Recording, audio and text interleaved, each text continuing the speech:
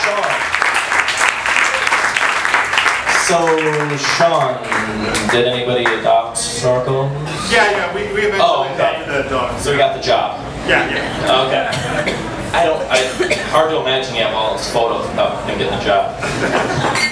All right, well, once again, thank you, Sean. Now, our next presenter, I'm gonna have to hit the space bar real quick, bear with me a second. Did you see me stand on the furniture? Okay, okay. Our next presenter, um, first and foremost, I'd like to thank for creating the flyer that you may or may not have seen. If you've seen us on Facebook, you've seen his little pink sun that he made. If you've seen this piece of paper outside, you've seen his artwork. He is a graphic designer from the Grand Haven area.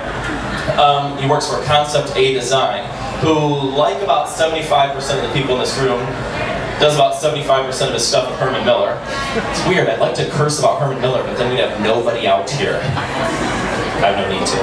Anyway, I'd like to bring up Jonathan Bergman, if I can see him. Oh, there he is. First, he's got to crawl over everybody.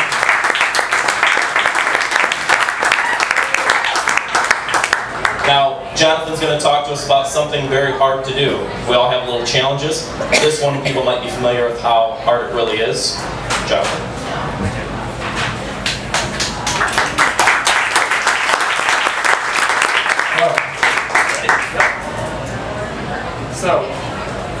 Four and a half months ago, I smoked my last cigarette.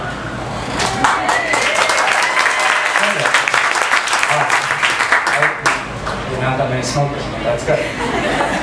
Okay, so I'm not up here because I want to tell you the secret to quitting smoking, or really to tell anyone what they should do. I just want to boast a little bit about myself. So I started smoking when I was 16 years old. And no, that's not a giant tarantula on my head, that is my real hair. And when, when I was 16 years old, my life was all about punk rock and getting my older, uh, my friends' older brothers and sisters to buy us alcohol. And at the time, a lot of my family smoked, and a lot of my friends were also starting to smoke. So fast forward 10 years, that's 10 cigarettes a day, 70 a week, 2,100 a month, 25,000 a year, and over 252,000 cigarettes I've smoked in my life. That comes out to over $10,000 I've spent on smoking. Now, $10,000, there's a lot I could do with that money. I could buy two pairs of these dipped in gold Nike shoes.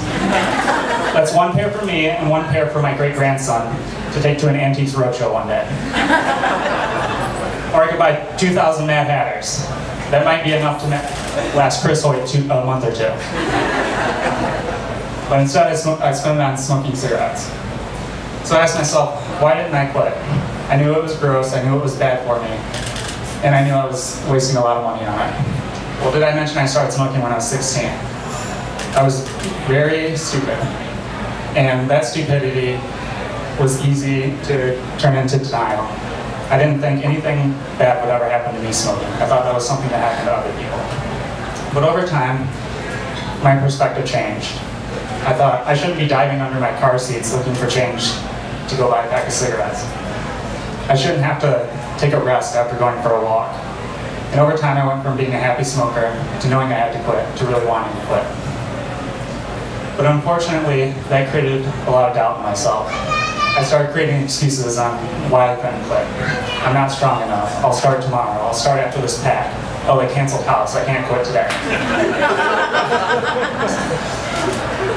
but then I started thinking, what if one day I end up looking like this? And I think to myself, what if I wait till too long and it's too late? What if I end up having to use an oxygen, oxygen machine while I sleep like my aunt? Or I can't even walk to the mailbox without being out of my breath like my mother. And so I realized that I have to do something. I can't just keep thinking about quitting. I actually have to take some action. Now, 40% of the actions that we have, go through every day are not decisions at all, but habit. This includes brushing your teeth, waking up in the morning, getting dressed, checking your email, driving to work.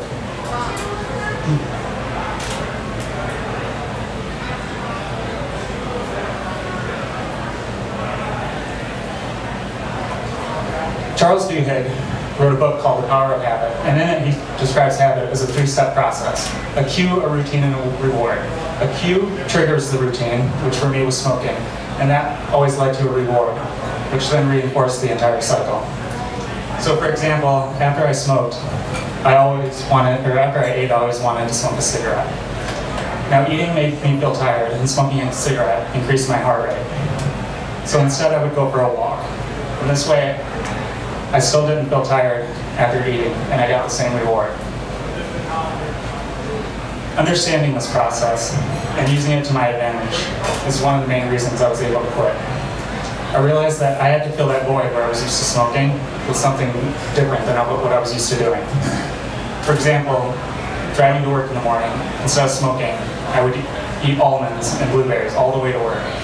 And this was just to replace the oral fixation I was used to. But that doesn't mean it was easy. When you have a habit for 10 years, it doesn't just go away overnight. You fight it and it fights you back. And that's why I went through what I'm simply calling the six steps, but others might refer to it as the two months where I was rude, distant, and not very fun to be around. So step one, not only have you decided to quit, but you take action. And this is what it looks like, says the internet.